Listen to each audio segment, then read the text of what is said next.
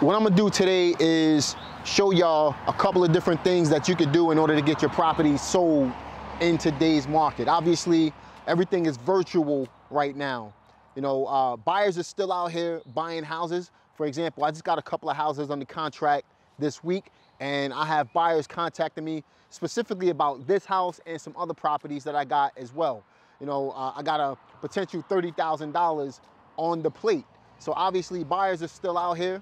You know, uh, obviously we're moving into a buyer's market. You wanna remember that business must go on. Obviously you're gonna make some adjustments. We've been talking about this over the last few videos, right? You wanna make sure you're incorporating the creative real estate.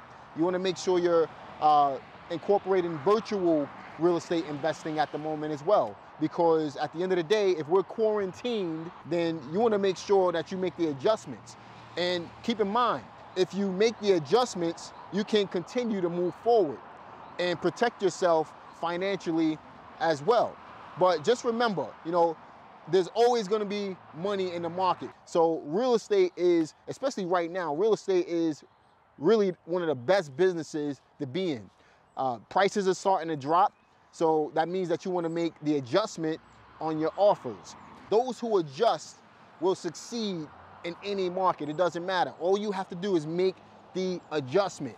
All right. So today, what I'm going to do is show you a couple of tips on what we've been doing in order to uh, get our property sold. As you can see, I got the rubber gloves on. I don't even come outside of the house, to be honest with you. I don't do this stuff. I'm just doing this to show you how you can get it done on video. I have virtual assistants and I also have local assistants here in my local area that do this stuff for me. So I'm really doing this for video purposes, to be honest. So the first thing I'm gonna do is walk you through the house.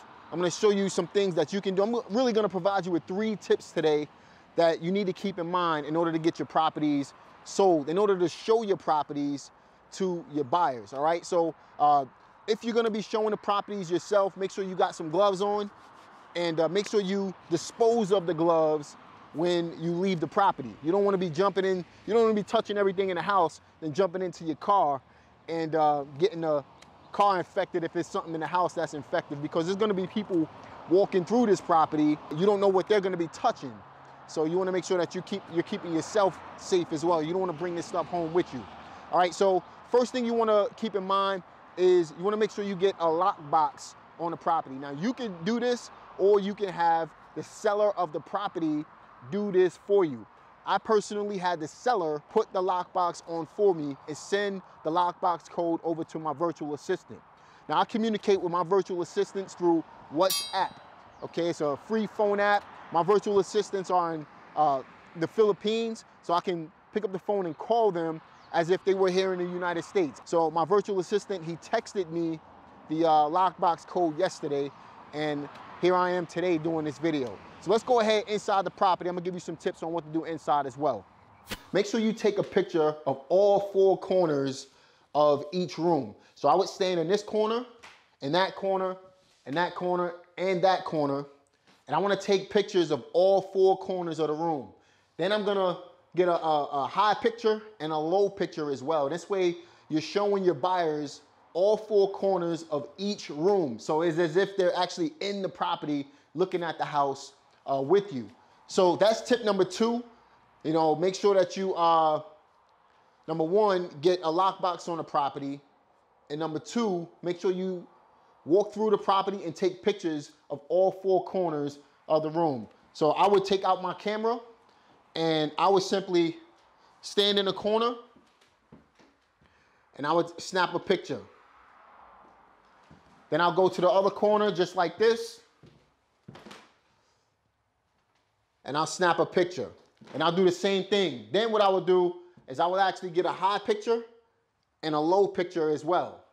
So that way the, the uh, buyer is actually seeing the entire room in its entirety. All right, if we walk into the kitchen here, you know, this is a smaller kitchen, but I would do the same thing. Just make sure you get pictures of all four corners. And that corner right there, I can't necessarily take a picture, but in a, in a case like that, I'm just gonna make sure any corner, this is not a corner right here. Uh, I would actually make sure that I'm getting pictures of all four corners of the room. all right?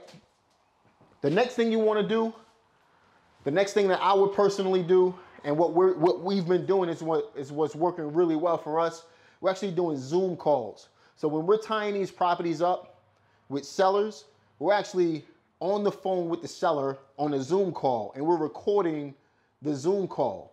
All right, so the seller is actually walking through the property and uh, as he's walking through the property, we're actually recording the video.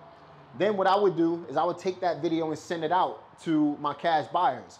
If that's not possible, you can also do like a FaceTime call just so you can see the house to make an offer. And if that's not possible, get the lockbox on the property, just like I told you in the beginning of the video.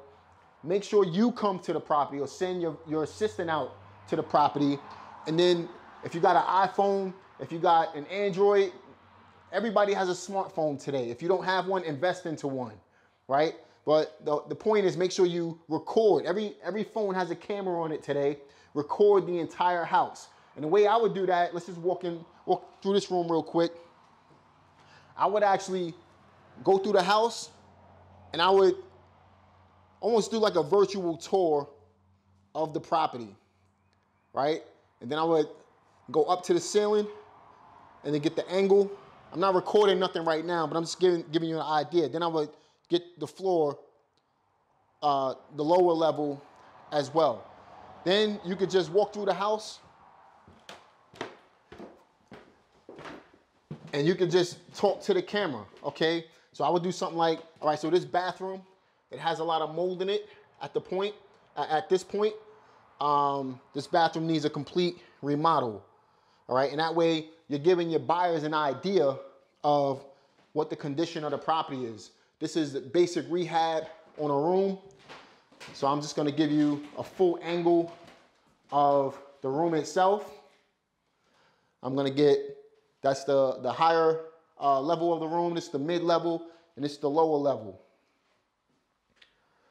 And then that way, you know, you're giving your buyers an idea of what the room is about. You do that through the entire property.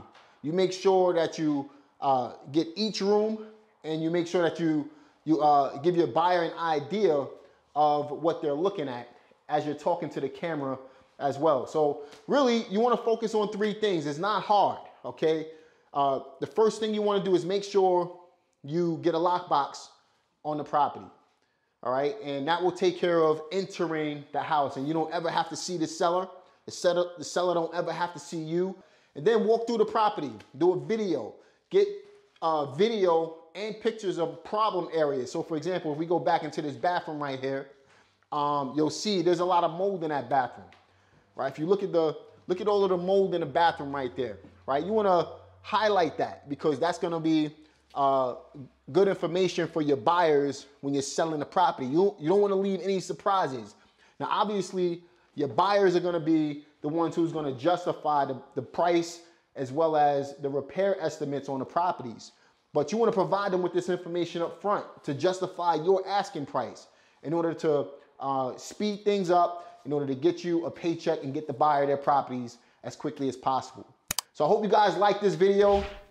Make sure you subscribe to this channel. Click the notification bell for more videos just like this one. And I'll talk to you guys on the next one.